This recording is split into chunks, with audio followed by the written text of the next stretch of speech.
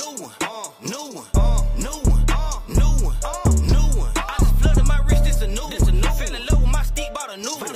When it cost a new coupe, this a new one. Had to cut that bitch out, got a new, got new. New chain, new watch, new bag. So what's good, TMG fam? It's your boy L, and I'm back with another reaction, man. How y'all feel? Welcome back to the channel. Salute. Now listen, we are back with part two of the top 10 times the judge lost control. All right, this is part two. All right, so listen, real quick before we get into that, man, I actually have it pulled up. Shout outs to OP Reroll. Shout outs to you, man. Your comment was, I used to be a deputy, he said, and I, I said the following more than once to folks. Now, this guy used to be a deputy. And he tells people, look, I'm just the cops. You can decide to ignore me and do your own thing, but never cross a judge. Now, this is coming from a cop, right? A cop used to be a cop. He said, I can inconvenience you and put you in jail for a short period. A judge can end your freedom. Never cross him, bro. Now, when you have a cop telling you that, bro, he kind of settle in, hit a little harder, hit a little different. You know what I mean? So, yeah, man, I agree, bro. Like, it's just certain people I just I keep my little comments to myself, you know what I'm saying? Because they can make things a lot worse for me. And a judge being one of them. Like he just has certain powers that way.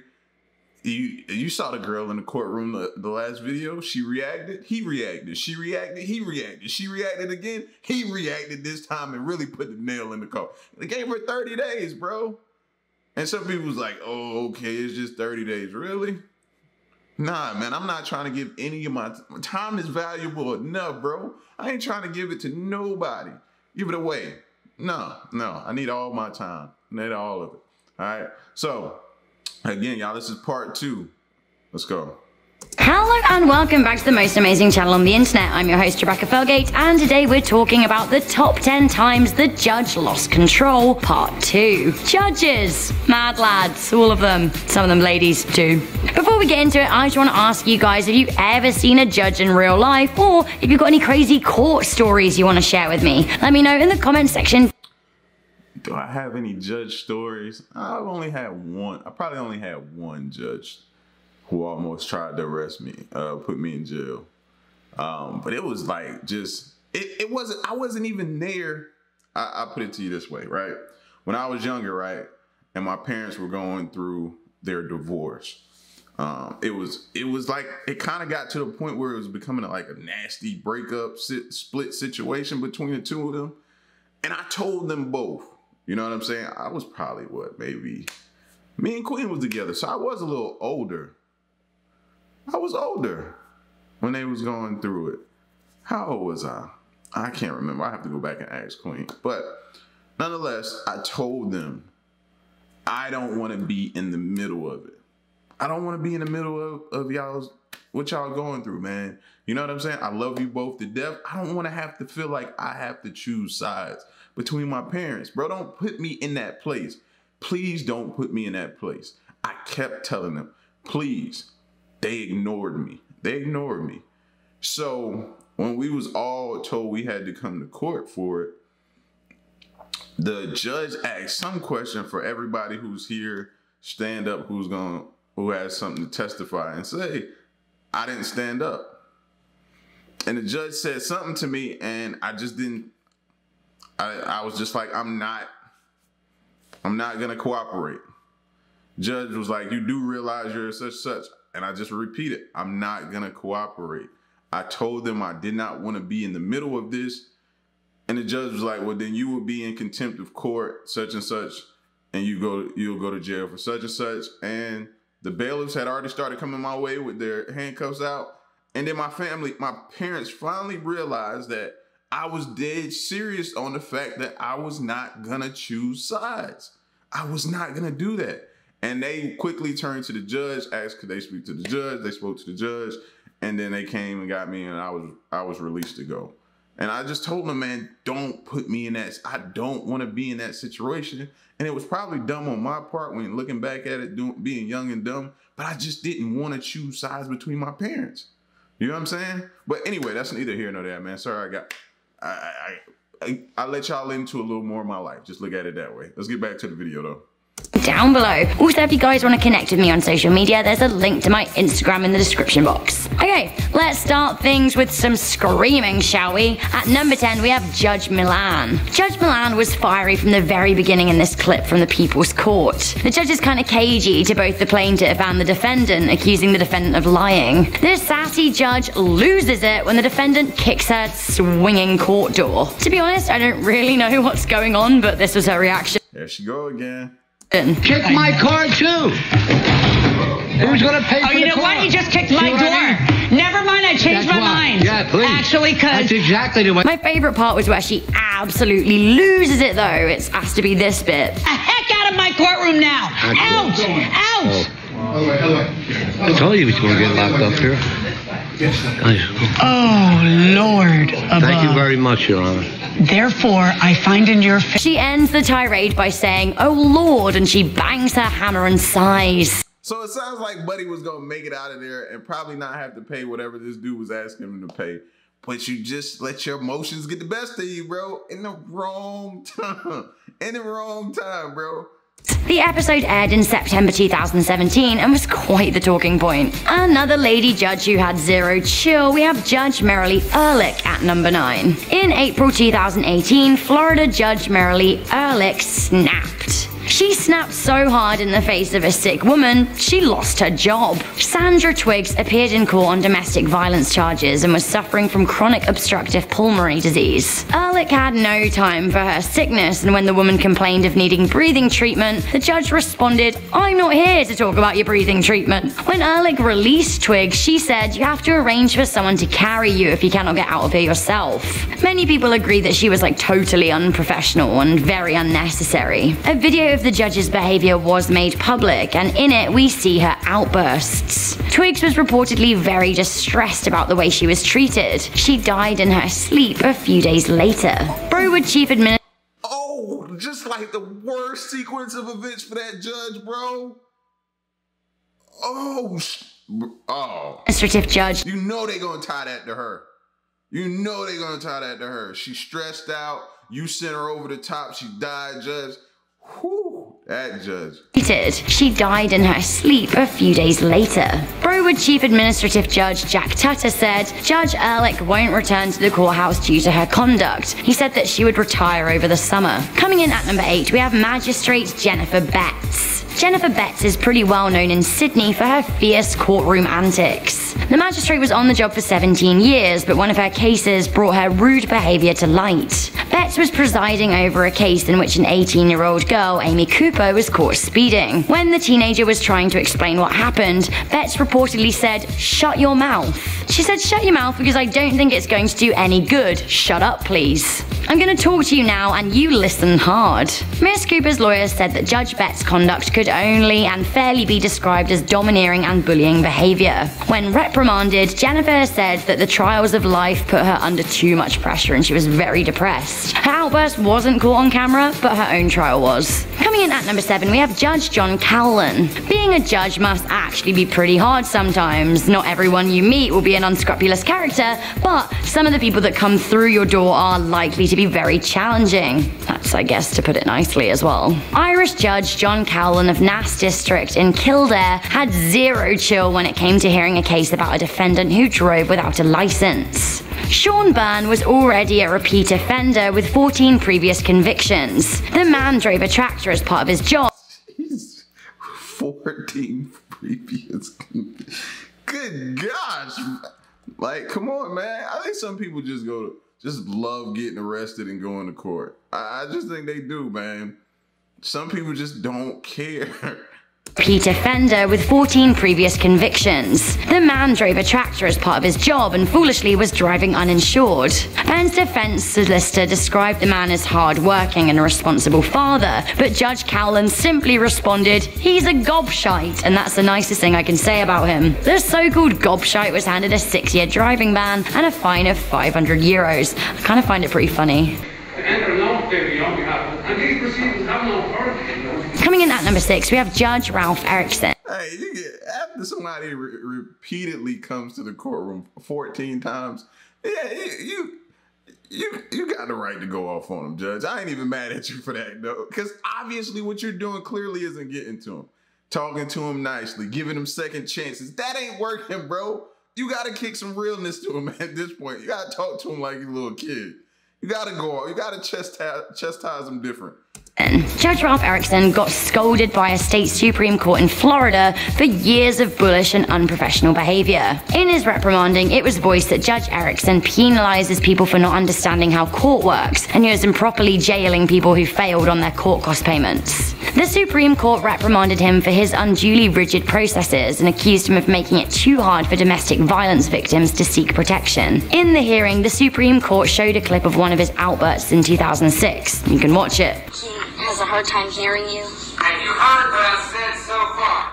It was that exchange that started all this in 2006. He just doesn't seem like a very nice guy. Coming into number five, we have Judge Jerri Collins. Judge Jerri Collins was a real piece of work. She was nasty, and I mean really nasty, to a domestic abuse victim, which basically is not what a domestic abuse victim needs. The shocking events transpired in 2015 when Judge Collins berated a woman who didn't make it to a court hearing because of the anxiety and depression she suffered since parting with her attacker. The judge ignores the woman's tears and holds her in contempt of court. She jails her for three days. A video of the tirade was posted on YouTube, and it's actually pretty sad to watch. It's been seen over 130,000 times, and the comment section is not forgiving to the judge. This is one of the worst bits for me. I just, my anxiety, and I'm just. You think you're gonna have anxiety now? you haven't even seen anxiety. And then we have this. Please, please. You should have showed up and you should have showed I have a one year old son and I'm trying to take care of him by myself. I'm, I'm begging you, please, please don't. Please, please. I've already issued my please. order. This was just Dang. That's just cold blooded, bro. That's just cold blooded, man. She's already a domestic abuse victim. You gotta be a little bit more. I get it. I get it because we can't sit here and act like some people don't use the whole, you know, victim thing and they they use it not for good. You know what I mean? They try to use that, but I don't think she was genuinely using it. I, I don't know, just, and I'm just judging based on the small clip that we just saw. You know, I get it. You know, judges probably see a lot of people throughout the day who try to use certain tactics and different things, and she probably see a lot of people crying, so that doesn't phase her. And the whole victim thing, people try to use sometimes and use it as an advantage, but you, you can't just base everybody off of past idiots and, imbeciles and, and different dummies and who who just have no shame. This this girl, from what I saw, the little tiny clip I, I see, I, I I didn't get that feel, but I don't know what the judge was feeling. But bro, the judge, I know they is tearing up in that comment section of that video, bro, because she just came off very very just cold, cold.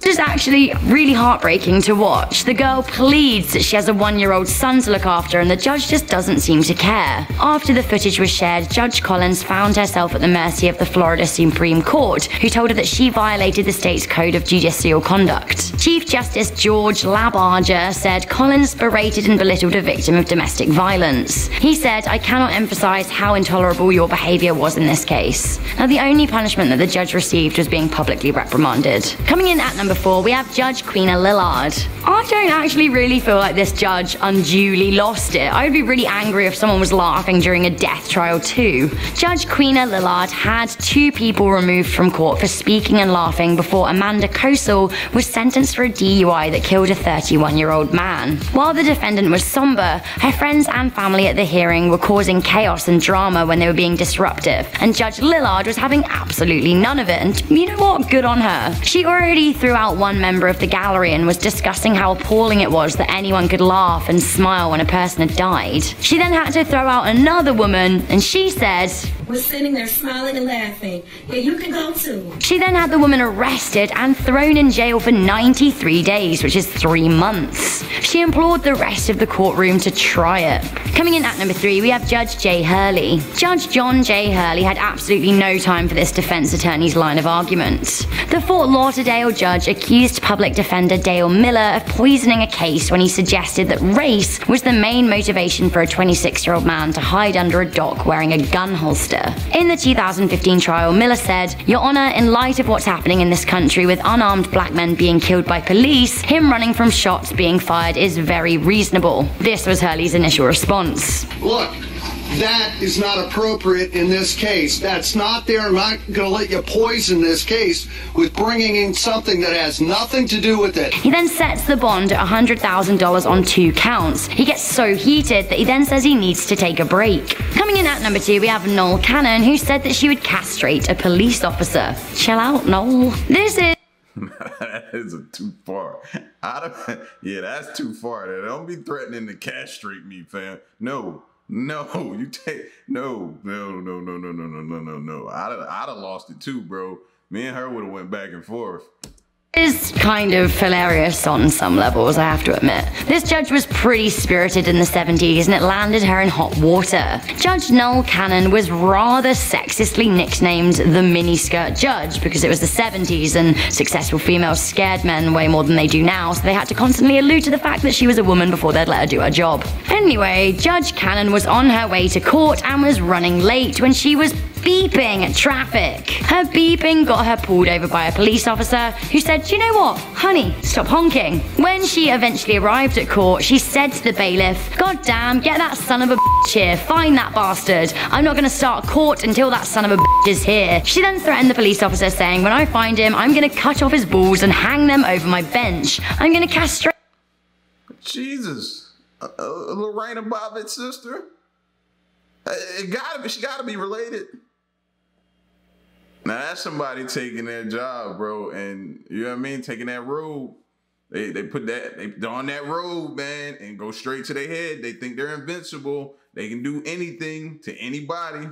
She wrong for that straight him, I'm gonna give him a vasectomy with a 38. As much as I'm sure we can all enjoy her spirit, her outburst was somewhat inappropriate. The police officer found out about it and it led to all kinds of trouble. She was suspended. It seems that this judge was also prone to bringing her pet chihuahua to court and sometimes a mechanical canary. What? Finally, at number one, we have this very, very famous vulgar exchange. This is a very strange case indeed, and one that was even parodied in Rick and Morty. In June 2016, a Superior Court judge in Rome, Georgia, absolutely lost it at a defendant who threatened him. Denver Fenton Allen threatened to kill Judge Durham's family. The defendant, who was already serving time for a previous conviction, stood accused of beating his fellow inmate to death in Floyd County Jail in 2015. Allen said to Judge Durham, I'll cut your children up into pieces. I'll knock their brains out with a effing hammer. I'll feed them to you. He kept going. He said, The babies will be going, Daddy, Daddy, help me. This is just very, very grim. When the judge found the defendant guilty of contempt of court, Allen said that he didn't care. The judge then sentenced him to another 20 days for contempt if he said anything else. Of course, he told the judge to F off, and the whole thing snowballed until basically Judge Durham had given him an extra 20 years in jail. The judge seemed to lose it at Allen when he said, You know, you look like a queer. I know all the inmates love you to death. I'll bet everyone's enjoying effing your glass. Except he didn't say glass, did he? Whoa, whoa, oh. Here's the exchange right here, Mr. Allen. Go blank yourself. I'm through here. Are y'all done? The court. I'm finding I'm finding you in contempt of court, Mr. Allen. I don't care. The court. I know you don't. And I sentence you to 20 days for that. And if you say anything else, I'm going to add 20 days for everything. Mr. Allen, blank you. The court, 40 days. Mr. Allen, blank you again. The court, 60. Mr. Allen, go blank yourself. The court, a year. Mr. Allen, your mama. The court, 10 years. Mr. Allen, blank my blank. The court, you know something? This is going to be an interesting trial. Mr. Allen, oh yeah? The court, oh yeah. Mr. Allen, you're not supposed to smile in court. You know that if you smile, the court, I can smile anytime I want. Mr. Allen, it's a violation. Yo, what is wrong with this dude? It was obviously quite inappropriate for a judge to say, and I know that he'd been threatened, but he couldn't get away with that. The court transcript is actually quite the read. Judge Durham was. All right, let me go back. He couldn't get away with that. The court transcript is actually. There it goes. The court. Of course. You know, you look like a blank. Can't say that word. Mr. Allen, well, okay. So now you're calling me a blank in the courthouse. The court. I didn't call you one. I said you look like one. Mr. Allen, you're yelling. The court. Do you understand the English language? Mr. Allen, wait, you're yelling. You're laughing. The court. Do you understand the English language? Mr. Allen, this is this this is kangaroo court, sir. The court. Do you know what? Do you you know what? No, we're not in Australia, Mr. Allen. I mean, if you want to blank my blank, you can do it anytime now. We can oh the court, oh, Mr. Allen, get this court order. The court, you're you're so smart. Mr. Allen, do you want to have court order this? The court, you're so funny. You're so cute, Mr. Allen. Can we get court order to get my blank, sir? Court, you're so cute. I know all the inmates just love you to death, Mr. Allen. Oh, yeah? Yo. While this would have been greatly entertaining if I was there when I got done, I'd be like, yo, that judge is in how he let his emotions get the best of him. He kept feeding into him.